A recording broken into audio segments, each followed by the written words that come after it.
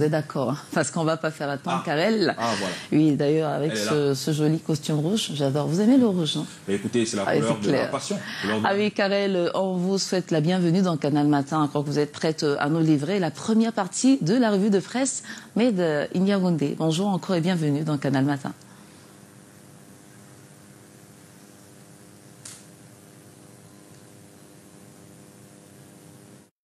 Bonjour Fidjil, madame, messieurs, bonjour et bienvenue à Angola. On s'intéresse au développement économique de l'Afrique pour commencer la lecture transversale des journaux.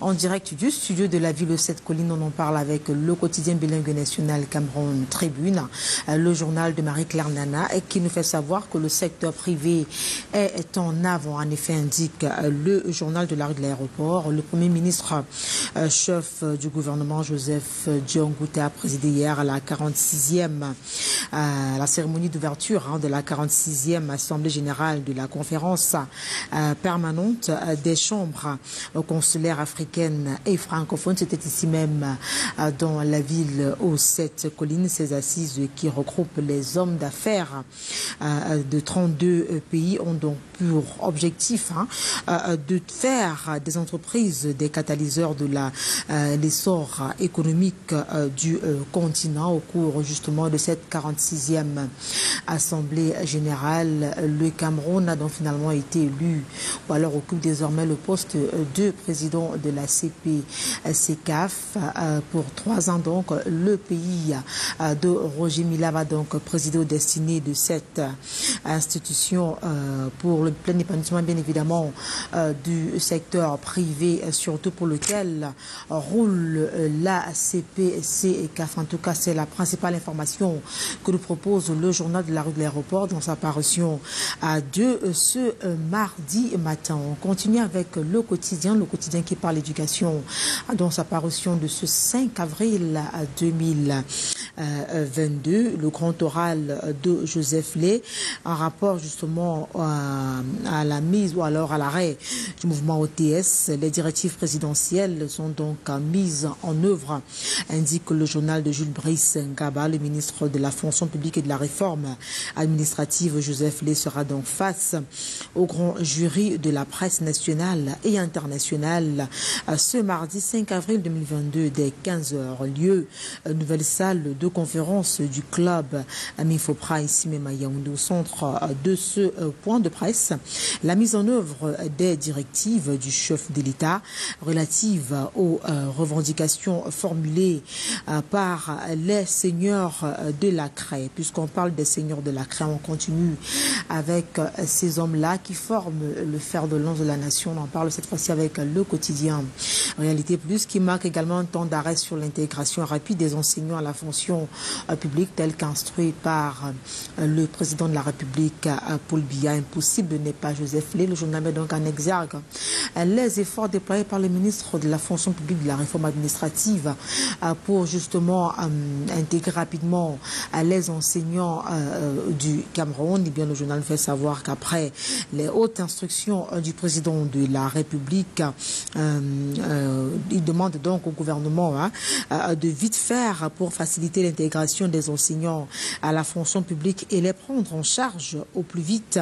Le ministre Joseph Lé et son équipe sillonnent les écoles normales du Cameroun pour expliquer aux différents services et acteurs comment cela va désormais se passer à Douala, Bertois, Ebolova, Marois, Bambili et Yaoundé.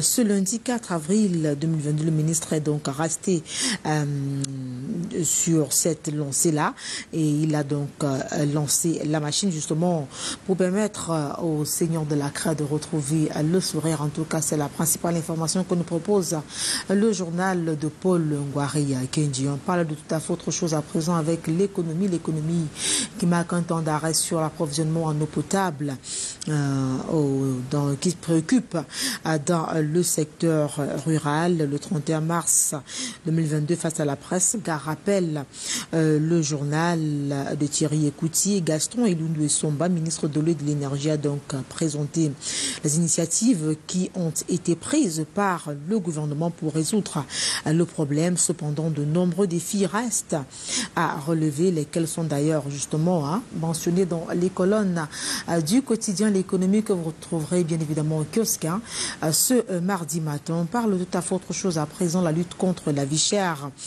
Euh, la flambée des prix euh, et les tensions sociales. On en parle avec Terre, a promis cet hebdomadaire également parvenu à notre rédaction s'interroge. Le combat est-il perdu? Euh, Cette interrogation donc a fait suite à de nombreuses situations donc relevées par nos confrères sur le terrain entre grève, pénurie et inflation sur les marchés. Le gouvernement fait face à une pression de plus en plus forte, une menace à l'équilibre social, indique le journal, qui peint donc ce tableau plutôt sombre dans sa parution de ce jour, tout en mettant en exergue, bien évidemment, les efforts gouvernementaux.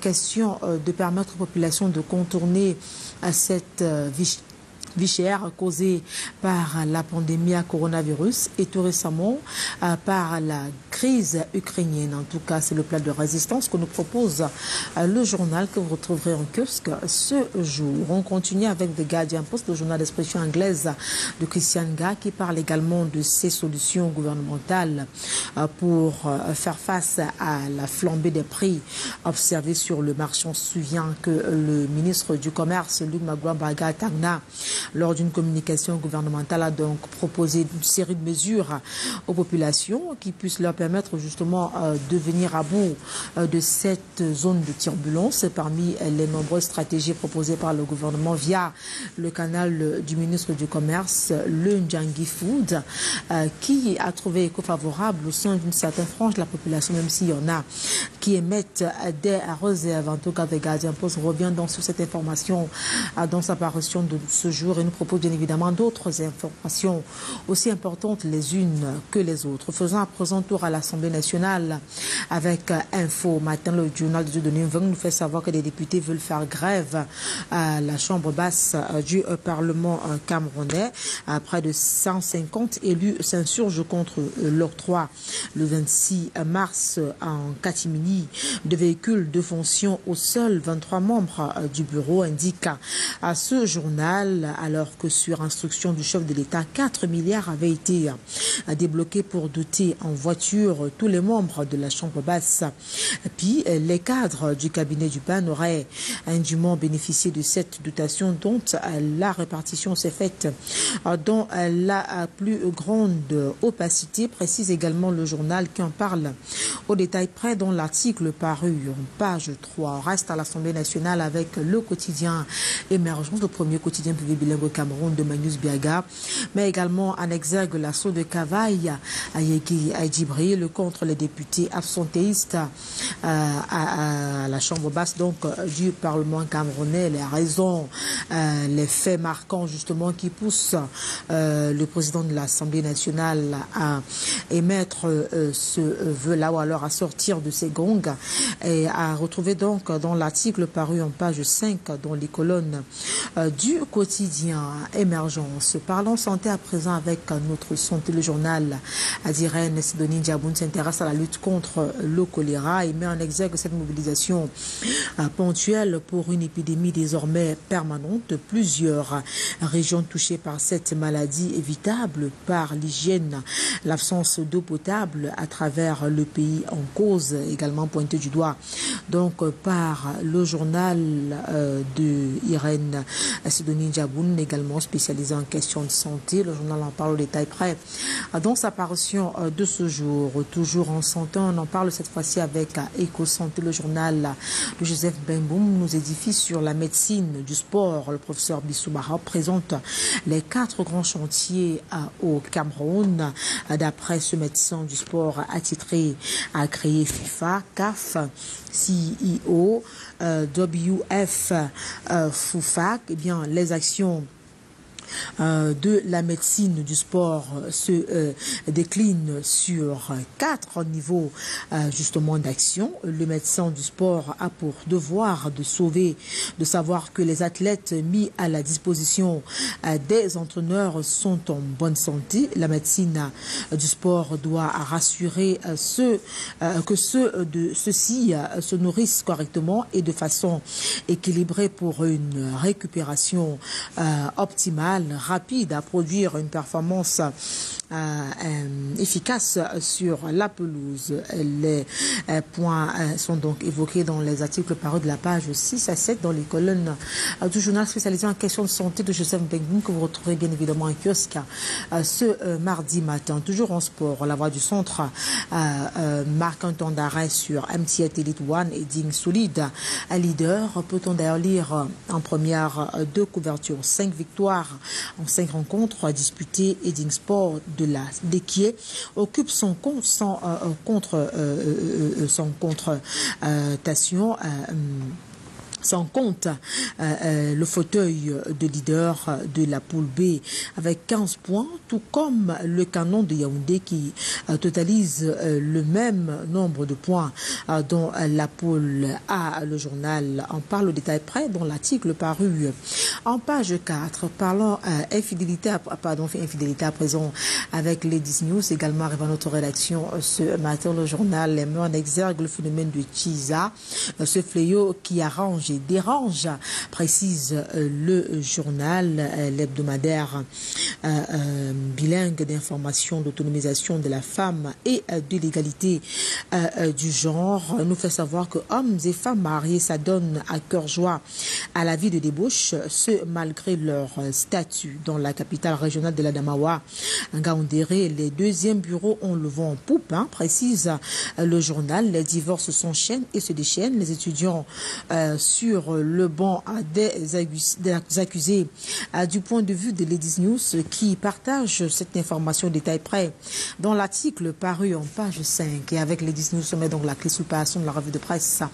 Acte 1 en direct du studio de la ville 7 Collines. Merci d'avoir été des nôtres. Restez scotchés, vous le savez, vous, vous servir est un plaisir. On met donc immédiatement le cap du côté de Douala pour retrouver Patricia Ifigil, à qui on passe le relais avec beaucoup de plaisir d'ailleurs hein, pour la suite à Canal Matin, cette émission de divertissement qu'on ne retrouve nulle part ailleurs si ce n'est bien évidemment sur votre chaîne de télévision Canal International. Alors Patricia, c'est à vous la suite. Au plaisir de vous retrouver demain.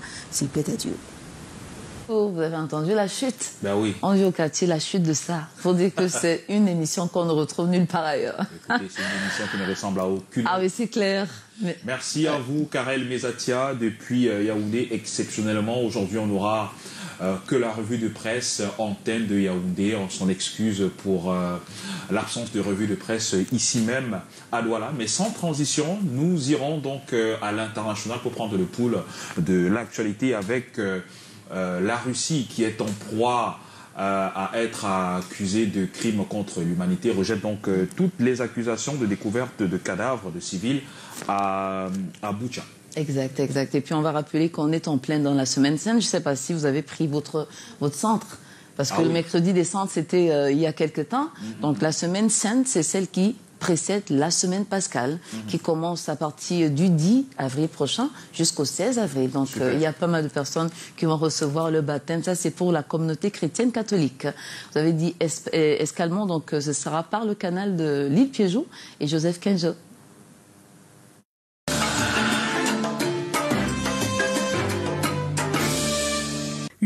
Le ministre russe des Affaires étrangères, Sergei Lavrov, rejette les accusations liées à la découverte d'un grand nombre de cadavres de civils à Boutcha, près de la capitale ukrainienne Kiev, lors de sa rencontre avec l'envoyé des Nations Unies pour les questions humanitaires.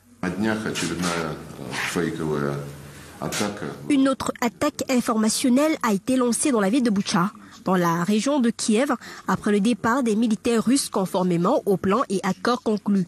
Quelques jours plus tard, une mise en scène y a été fabriquée que des représentants ukrainiens et leurs mécènes occidentaux distribuent sur toutes les chaînes et réseaux sociaux. L'armée russe est complètement retirée de cette ville. Le 31 mars, le maire de la ville de Boutcha a déclaré solennellement que tout était en ordre. Deux jours plus tard, nous avons vu comment cette mise en scène était organisée dans les rues et comment ils essaient maintenant de l'utiliser à des fins anti-russes. Nous avons exigé une réunion urgente du Conseil de sécurité de l'ONU sur cette question.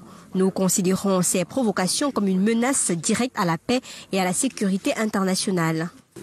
в таких провокациях прямую угрозу международному миру и безопасности.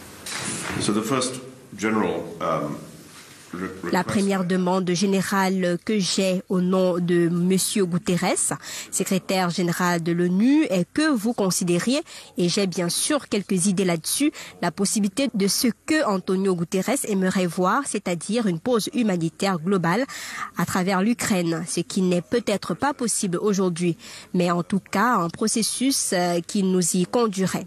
Deuxièmement, je crois qu'il y a une possibilité de pause humanitaire dans certaines parties du pays géographiquement délimitées. Par exemple, dans le nord, autour de la capitale, à Chernihiv, à Keston.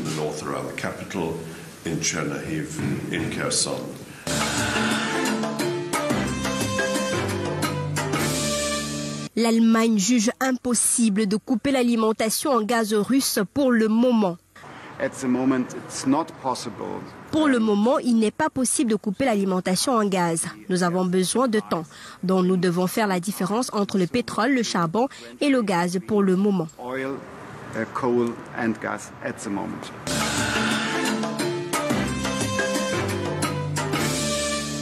Les 20 co-accusés du héros d'hôtel Rwanda, Paul Rose Zabagina, arrivent au tribunal de Kigali alors que le verdict de leur procès en appel doit être rendu. Malgré le refus de comparaître de l'ancien hôtelier et féroce opposant au président rwandais. Tous les accusés ont été condamnés en septembre pour avoir soutenu ou appartenu au Front de Libération Nationale un groupe armé accusé d'avoir mené des attaques meurtrières au Rwanda en 2018 et 2019. Le parquet qui avait requis la prison à perpétuité a fait appel souhaitant voir leur peine alourdie.